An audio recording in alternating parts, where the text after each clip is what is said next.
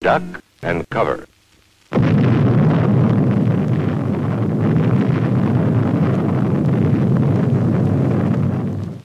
Hello and welcome to Surviving Classical Music. I'm Andrew Burn. Today is a very special episode. Joining me is early music specialist, flute player, and one half of Phosphines, the duo that's writing about uh, musicians at the moment. They're also publishing. They're publishing both on their own channels, but also on the Surviving Classical Music website. This is Johanna Bartz. Welcome. Hi, Andrew. Thanks for having me here. Don't speak directly into the microphone.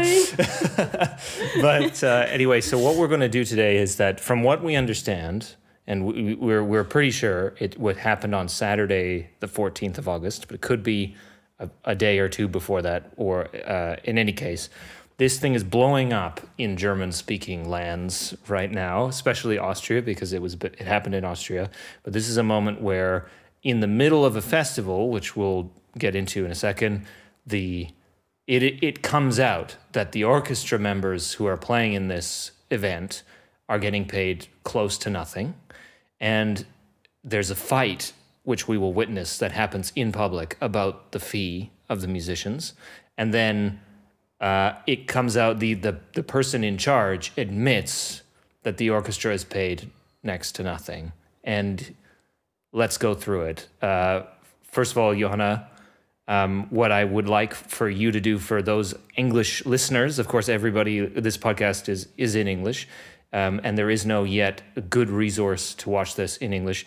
If you could just give us a quick description, we'll watch three sections of this video, um, which isn't super long. And if you could just give us a quick summary of, of what happens at, at the end of every section. So, can you first give us the names of the, the, the two people who are, who are in this video? Yeah, sure. So the person who actually calls this thing out that the musicians are paid close to nothing is Alexander Köck, and he's a musician of uh, the Austrian-based band Kari Kari.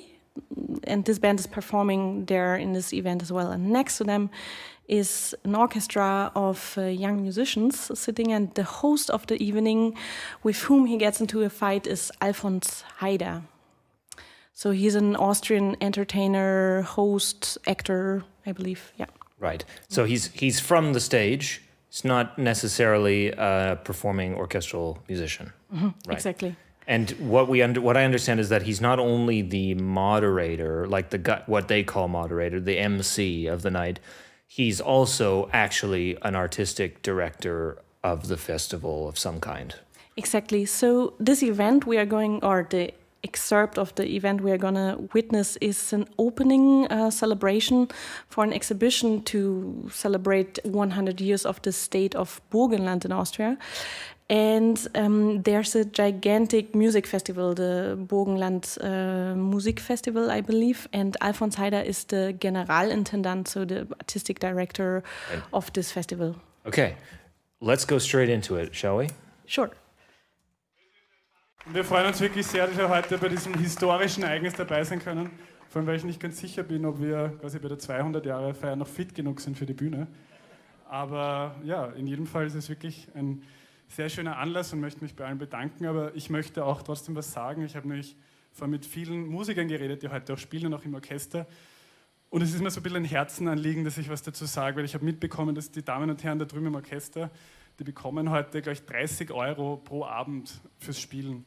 Und das finde ich in einem Kulturland, äh, Burgenland, bei 100 Jahre Burgenland, bei einem sozialdemokratischen Land, finde ich das beschämend. Und ich finde es besonders beschämend nach Corona. Und ich finde es noch beschämender, wenn man gleichzeitig weiß, dass in Corona genug Geld dafür da ist, dass es zwei Intendanten bei der Seefeldspiel Mörbisch gibt. Und das Und ich finde, da geht es ein bisschen um, äh, um Anerkennung und wir alle auch. Da, es sind halt wirklich Weltstars da. Also der Christian Kolonovic, es ist so eine Ehre, da zu spielen. Opus, Brui und, und alle sind total unterbezahlt und spielen für ein sprichwörtliches Butterbrot, weil es alle wir stolze Burgenländer sind und wir wollen Teil davon sein, dass wir das Burgenland repräsentieren.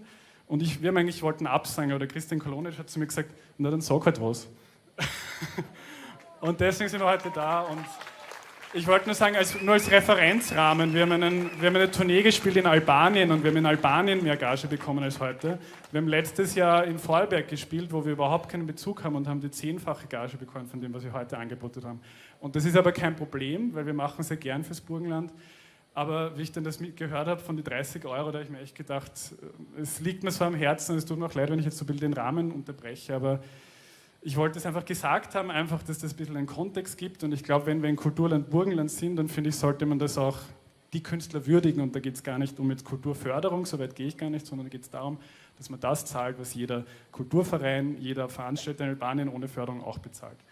Und, ja, und dann quasi. Entschuldigung, Entschuldigung, bitte. Right. So, so I know that he he kind of goes off in the middle there for a second, but can you give us the the two major points that uh, he gives us. Yes. So first, he's always very friendly, as you could see, and uh, first he's like thanking the organizers that they can perform there, and he mentions that very famous musicians and performers from that specific area are playing there. And he found out that the musicians of the orchestra only get 30 euros per evening per musician. And um, he says that he finds it really a shame that, especially in times of Corona, and especially especially that for, for the fact that Burgenland is a very like they call themselves a very cultural or cultural culture loving people or area and he says that it's it's really a shame that people the people there get paid like this and that they have been talking among each other with with the other musicians like what can we do should we say something should we cancel mm-hmm. as if i understand him right he says um, we even they even considered to cancel and then one of the the other performers who's quite famous says well say something in public mm-hmm. so this is what happens until there he goes off in the middle and he he says says or he explains that they've been playing in other regions in albania in also in another region of Austria, and they, they always got paid much more than this, mm-hmm. and mm-hmm. there should be an understanding of a decent payment, and that it cannot be that such a um, such a renowned organizer like the Burgenland Festspiele or Seefestspiele Mörbisch in that case pays so little um, and pays less than every small association or fine or right, like right. little organizer. So he's pointing out that this is actually a this is a serious music festival, and and they're paying so little, even less than very very tiny yes, music festivals. Exactly. Okay. Mm -hmm. So now at this point we've just stopped where the artistic director interrupts yes. uh, Alexander Köck. So can we continue? Mit allem Respekt. Sie haben eine falsche Information. Jeder Musiker in Mörbisch bekommt 140 Euro pro Abend. Nicht in Mörbisch, heute. Ich habe verstanden Mörbisch. Nein, nein, nein. Hat nichts mit Mörbisch zu tun. Okay. okay. Tut mir leid. Aber ich glaube, dass diese Zahl nicht stimmt. Oh ja, also ich habe es gefragt vorher, also das ist, ich habe es überprüft. Aber es ist wurscht, ich will jetzt auch quasi, ich will jetzt niemanden den Abend... Das ist nicht wurscht. Sie machen ja vor halt, Sie machen Vorwürfe, die sicher auch andere Gründe haben. Nein, überhaupt Vielleicht nicht. sind diese Gagen auch aufgeteilt äh, auf die Bands und die entscheiden dann, wie es weitergeht.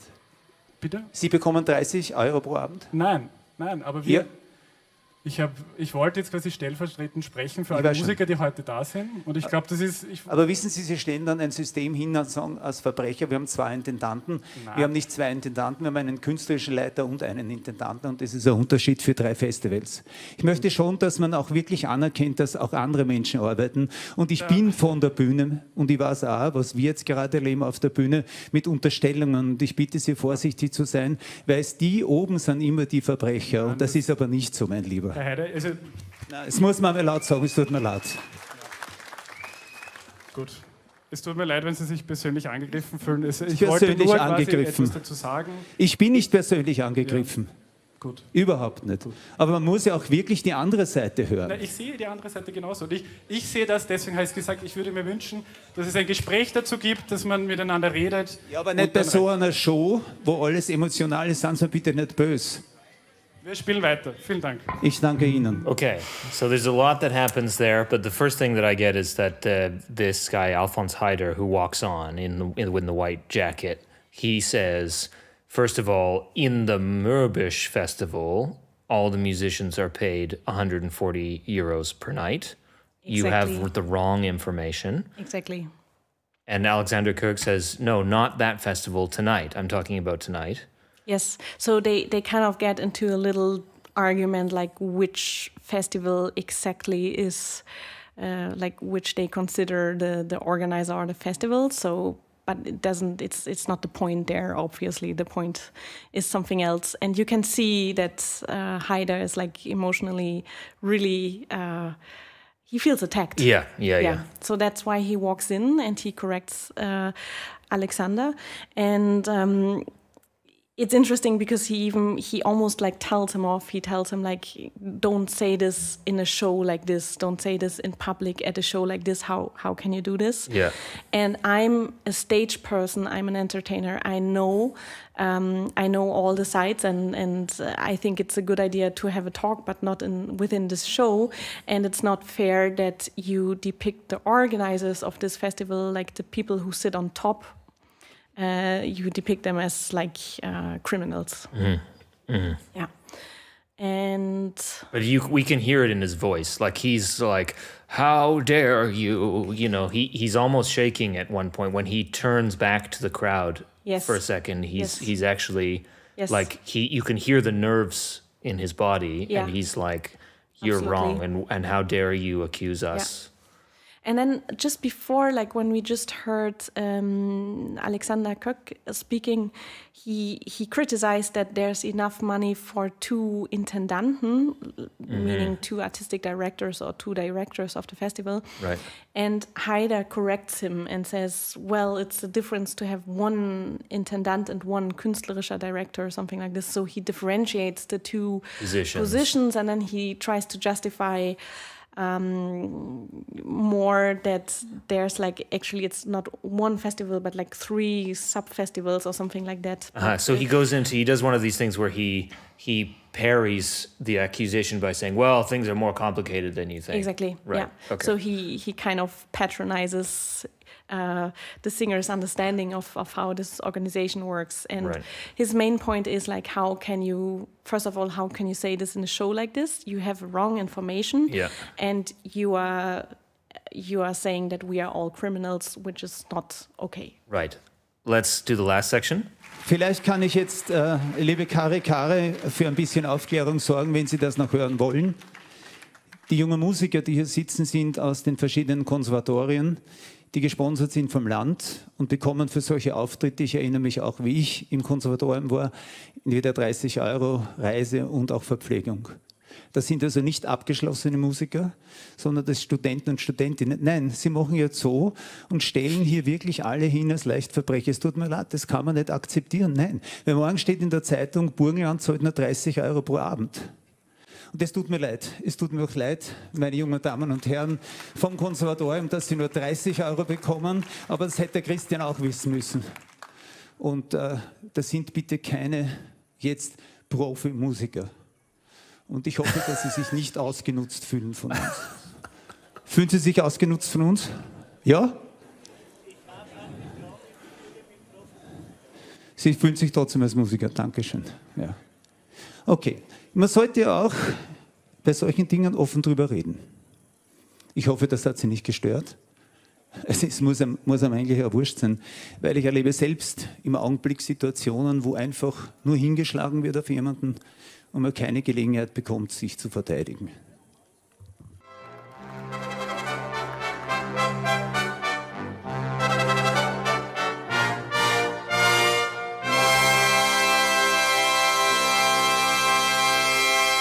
Yes, so now when the musicians performed again, like after that, Haider uh, goes on stage again and he says, um, I have to confirm that the musicians only get 30 euros for this evening, but uh, we are not considering one important point. They are all students of the Landeskonservatorien, so of the music academies of that state, of Burgenland. Um, and basically indicating like we pay for their education. Yes. And they are not professional musicians yet, so that's Yeah. the justification. These are the, they're not uh, they're not finished in their studies, not and therefore so- I'm sorry, these are not professionals. Exactly. Right. And um, he he even apologizes uh, apologizes in the same moment. Like he turns around to the orchestra and says, "I'm really sorry that you only get 30 euros, but that's how it is." And then he kind of goes into a moment of self pity where he says, "You know, at the moment it's the situation that people just bash on."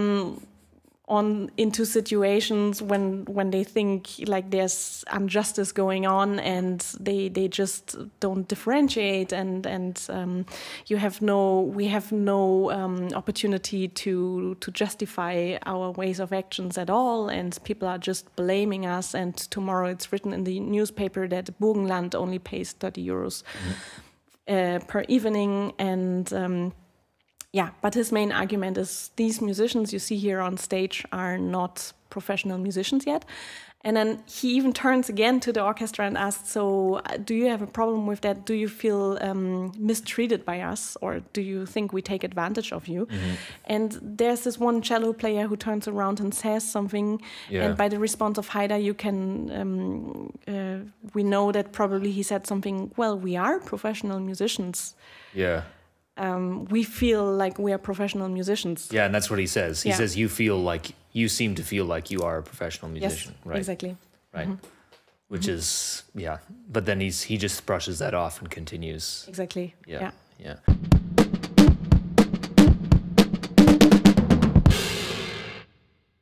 I think there are a couple things which I mean I won't we won't play again, but a couple things that surprised uh, like four things which really surprised me. One is that Alexander Köck finishes speaking and for just a second we see the cameras pan towards the audience. And you hear obviously we hear clapping when he speaks, but when we look at the audience for just that brief second, not that many people are clapping. There's a lot of people there with their arms crossed just Exactly. staring at him. Staring, I mean, you can see that they are stunned and perplexed, and it's an extremely awkward moment. Yeah. You see the people like smiling out of insecurity, and some people have like their faces turned to stone. Yeah, they have their arms crossed and Yeah. they are not clapping. Right. And then we have another another thing that I want to note is that when Haider comes on the first time and and the, the basically the debate is over and it's just just before he says okay we're going to keep playing and and they start playing the music just before that when Haider is just like I'm you know this is it and don't accuse us of being criminals and whatever and then he he's about to walk off people start clapping for him Yes. right? And uh, and then when we have finally in the third section where Haider turns to the orchestra and says like, "Sorry, but you're not professionals." Basically, I find it funny that the musicians don't do anything. They're kind of stunned at the Yeah. whole thing. And then the next sequence, literally where we just stopped, they've clearly played on in the concert. They've clearly and played well Yes. as well. What we hear Yes. it just boggles my mind. Also, that nobody seems to have left or booed, you know, at the situation. It's just everybody is just stunned. Nobody knows what to do. Yeah. And yeah, uh, the obvious reaction would be like, yeah, to boo or to say something, or musicians walking off stage or something like that. Nothing like that happens. Yeah. Nothing even close to that. No, nothing from the audience, nothing from the orchestra, Yeah. and it's it's irritating from so many points of views. Like from the audience, I, well, you can see that they really don't know. Like part of them doesn't know what to how to react, what's going on. They are just like stunned and and and well, and from the musician's point of view, I can understand somehow. I mean, they are super young, and I remember when I was a student. Mm-hmm. I paid a couple of gigs that were like not only a couple, I paid a lot of gigs that were so badly paid. Mm-hmm, mm-hmm. And there was simply no understanding of this. And the understanding would have been like, uh, be happy that you can collect some professional experience. Yes. Be grateful for that. Huh? Yeah, yeah, yeah. And um, in a way, like these, they are all students still, and they are they are dependent. They are dependent of their teachers, of the whole uh, music academy system, how they are going to be graded, and I think you can clearly see there this kind of attitude that's so implanted into all of our brains that we just have to to sit it out, you know. Mm-hmm, mm-hmm. And I find it interesting that the well, I, I, what I what I am almost sure about, but of course I have no idea, is that these kids, when they kids, these musicians, when they were given the contract or the anfrage or whatever, when they were asked to perform and they were told it's thirty euros, and the trip and the food, right? Those were the three things that he said they were paid for or they were given for this. I'm sure it didn't say this is coming out, uh, this is your duty because the state has sponsored your education, right? Which is how he uses to justify the fact that uh, they don't owe them very much. Because he says these are from state sponsored schools, conservatories, right? As if, as you said, as if they are like, we have already paid out of our taxes for this performance. Exactly. Basically. So they uh, actually later in the section that comes up now, he he says it again. He says like the state is paying for for their education, so it's justified. Right. And he really points that out, and yeah, and I'm sure I'm I'm sure like nobody said that to the Yeah. musicians when they Yeah. were hired, and the moment Yeah, they were hired, like it's your You duty. owe us. exactly. Yeah, yeah, yeah. Yeah. Interesting. Let's move on to two things. Uh, so we have two news articles, one in Der Standard and not article, editorial, excuse me.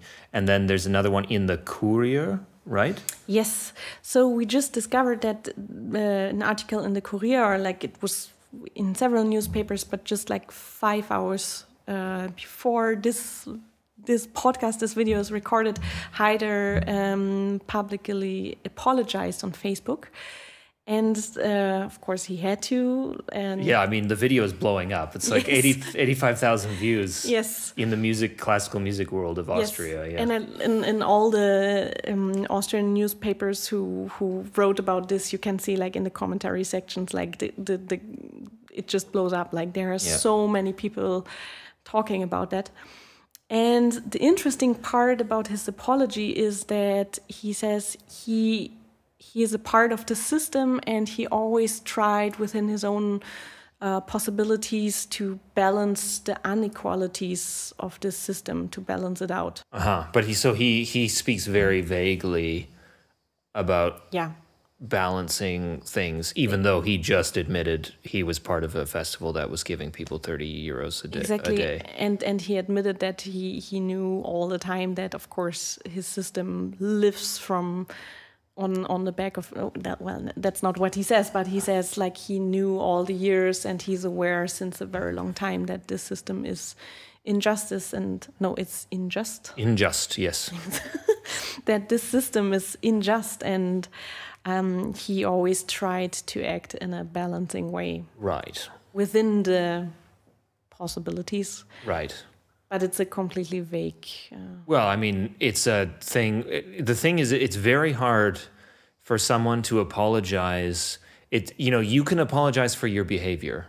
You know, if he came out there and it wasn't as bad as it as it was, and the musicians were paid 100 euros a day, or or 150 euros, or 300 euros, it doesn't really matter. The number doesn't mm-hmm. matter. But if he came out there and he just came out in front of Alexander Köck and went, "You dick," you know, mm. and was really nasty to him actually, and said a lot of nasty things, then when he makes an apology afterwards, he says, "I'm I, I can apologize for my behavior," and then we can accept the apology. But when in this he says, "I apologize for the fact that the musicians were paid almost nothing," and I do my best to make sure that doesn't happen. But no, he actually, well, he actually even he doesn't even say that. He says, "I'm very sorry if the musicians felt offended." ah, So the typical, yeah. I apologize if you're offended. exactly. Right, Yeah. right, right. And uh, and they will meet in the beginning of the new Right. school year for talks, and they will talk everything out,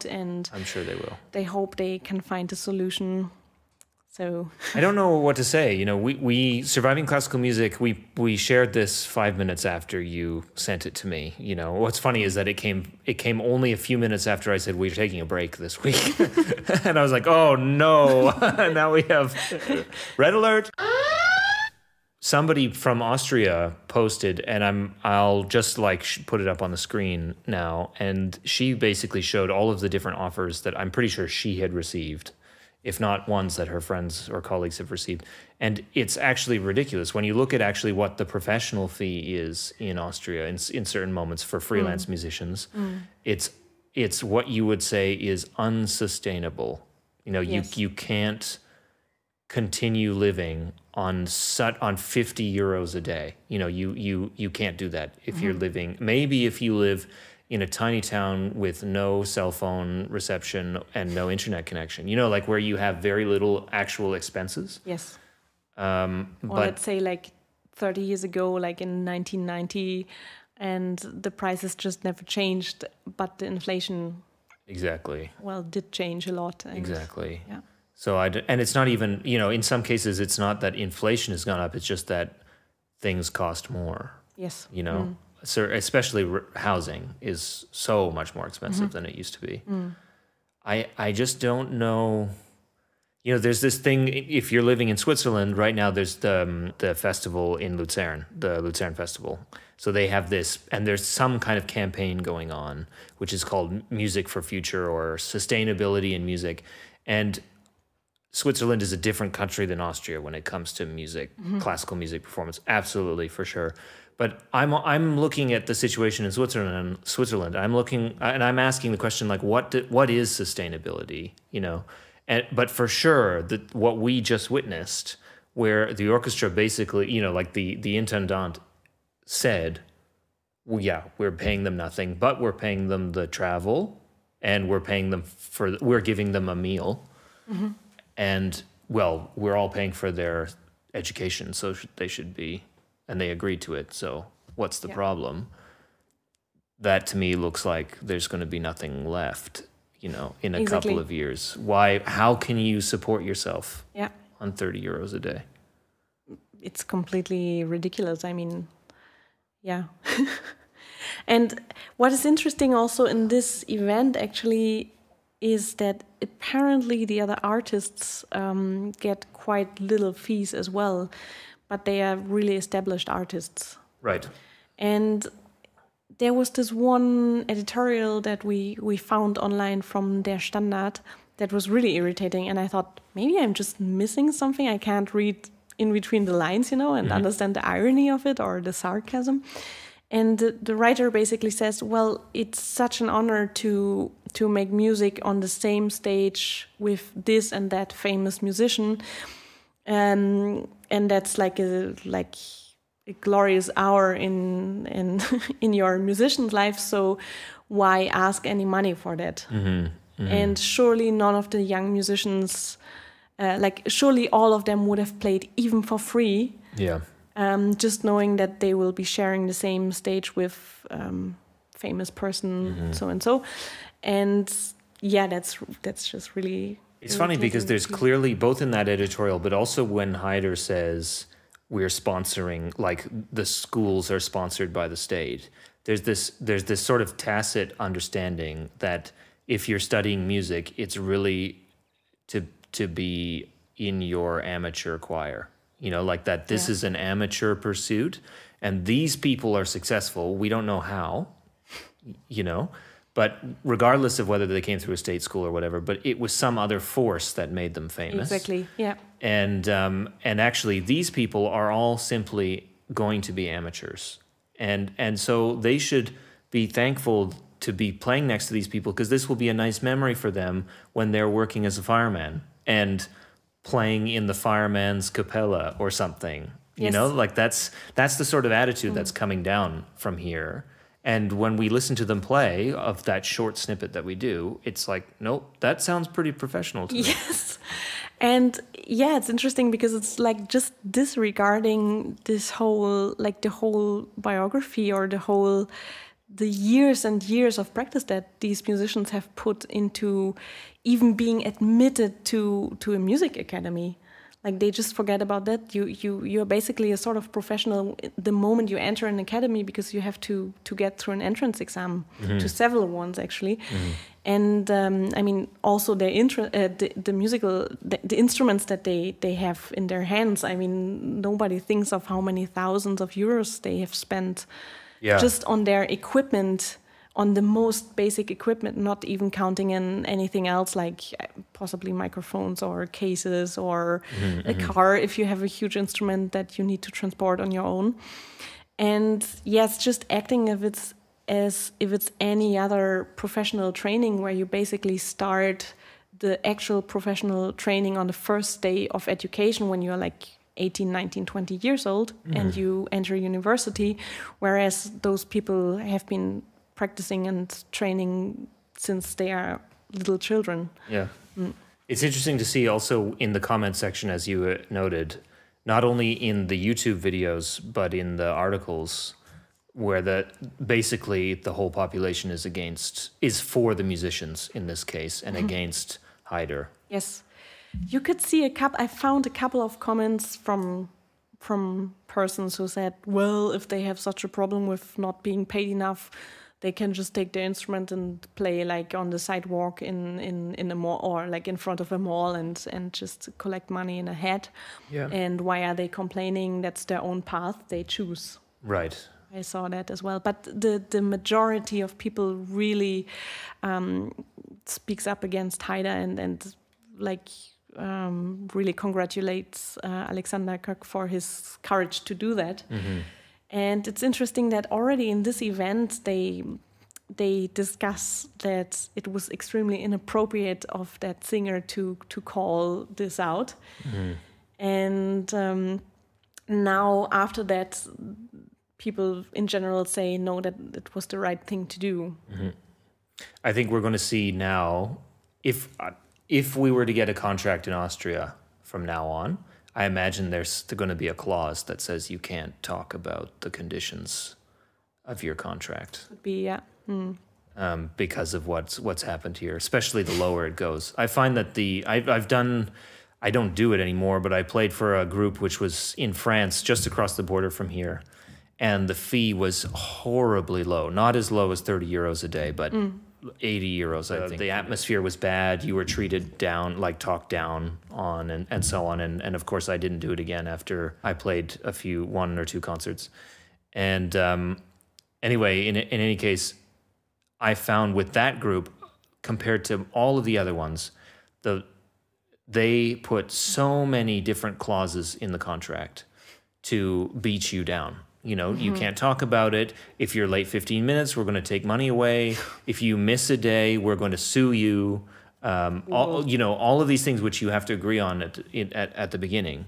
I, I, you know, like it. This is in that realm, even though I, I have no idea what's in the contract. But this mm-hmm. sort of treatment, mm. and then to actually justify the treatment to the public in the middle of the concert, yeah, is really just unbelievable. Yes.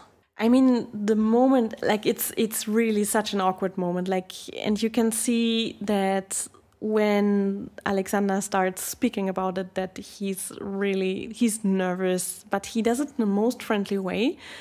Mm-hmm. Um, but on the other hand, I mean, you need you need moments like this. Like the more awkward and the more not in place, the better it is, I guess, because mm-hmm. otherwise people will never hear. Like it has to hit people in the face until they understand what's going on. Yeah. Like before we met to uh, make this podcast, you said to me like this was like a, a look for the audience behind the curtain. Yeah. And I thought that that just describes it so well that there's this really weird moment where they actually see what's going on and and the, the strange mechanisms that that keep these circumstances alive that just yeah. keep them running like this. Yeah. I find absolutely that that's exactly what i would what it is you know that we not of course that's not our relationship with every music presenter you know? Mm-hmm. there are really great presenters. There there are certain projects which we do because we want to do them and not because we uh, are doing it for the money mm-hmm. necessarily and also like alexander Köck says that You know, like we we're not being paid so much like uh, in other places, but we want to do this for Burgenland. y- Exactly. You, know, so I I have done those. You know, I'm sure you have done those as well, and and come out of it going, ah, well, yeah, whatever. But I really I enjoyed it, and I wanted to do it. Yeah. Do you know what I mean? Yeah. But in this case, this is one of those nightmare scenarios where you you want to raise your voice and you know that there's an authority person there who's ready to beat you down if uh, if the situation is not good. And I know I know like both you and I have told each other stories of that sort of thing happening where we of course didn't speak out to the public uh, in the moment, but that was happening and the public had no idea. Exactly. Um, but That's an interesting point because this is something I have observed that audiences sometimes have really interesting ideas of, of what we earn. Like there are a lot of people who accept uh, or who expect that um, we earn very little, like we earn like 50 euros or 30 euros per concert, and they think, "What? That's a lot of money." Or I mean, this typical thing that happens to everybody of us, like people uh, join you after a concert, uh, they talk to you and they say, "So, and what is your actual profession?" Um, so we have this extreme, but I also had the other extreme once with a. I had like a, student in Berlin, like a, a grown-up woman, and she was working in the cultural, um, in a cultural department of of a city or a state, something like that. So she was not completely far away from this whole topic, and she she witnessed a concert where I played like in an orchestra, uh, in a baroque orchestra, like a B minor mass or something in the Berlin Philharmonie, and she asked me, ah, "Can I ask how much you earn?" And I was like, "Well, wait, let me think. It was two days of rehearsal and one day of concert, so it was 150 per day, quite regular German Yeah. baroque orchestra."